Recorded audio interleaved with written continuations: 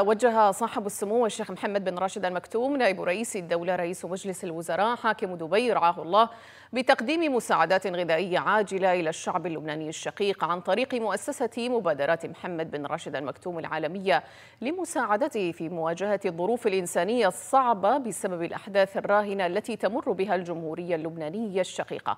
ويستفيد من المساعدات العاجلة التي تقدمها المؤسسة 250 ألف شخص في لبنان ويتم توزيعها على المستحقين بالتعاون مع برنامج الأغذية العالمي التابع للأمم المتحدة. وأكد معالي محمد بن عبد الله القرقاوي الأمين العام لمؤسسة مبادرات محمد بن راشد المكتوم العالميه أن تقديم المساعدات العاجلة للشعب اللبناني الشقيق يأتي ترجمة لتوجيهات صاحب السمو الشيخ محمد بن زايد ال نهيان رئيس الدولة حفظه الله. وصاحب السمو الشيخ محمد بن راشد المكتوم نائب رئيس الدولة رئيس مجلس الوزراء حاكم دبي رعاه الله بالوقوف إلى جانب الأشقاء العرب. وتسخير الإمكانات لتلبية احتياجاتهم الأساسية في الظروف المختلفة.